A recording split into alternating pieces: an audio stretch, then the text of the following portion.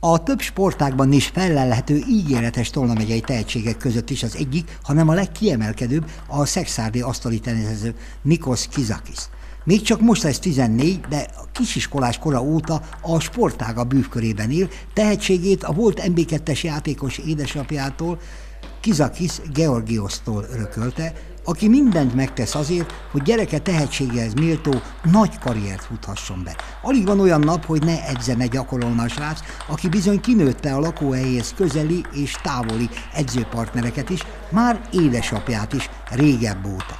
A saját korcsoportjában országos második, de összesített serdülő ranglistán idősebbek ellen versenyezve is igen előkelő helyet foglal majd el.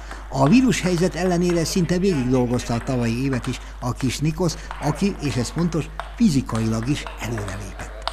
Apukám egy hétig keresett ö, ö, edzéshelyet, és igazából csak egy hetet hagytunk ki, amíg keresett, és utána végig játszottunk egy hét, héten ötször. Képzettségi szintje megengedte, fejlődése egyenesen megkövetelte, hogy magas szinten felnőttek között versenyezzen. Az MB2-es Bonyhádi Vasas erre eddig remek lehetőséget biztosított. De Nikosz már úgy tűnik őket is kinőtte. A debreceni EOC MB1-es csapatában szerepelt tavaly ősztől. És hogyan?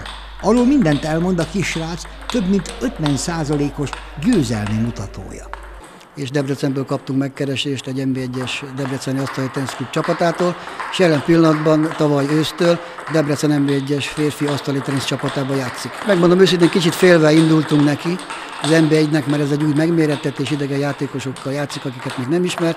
Én úgy gondolom, hogy az őszi szezont az január végén be tudtuk fejezni, a tavaly őszi szezont, és a mutatói alapján 57%-kal én azt gondolom, hogy ragyogóan vette az ezt az akadályt.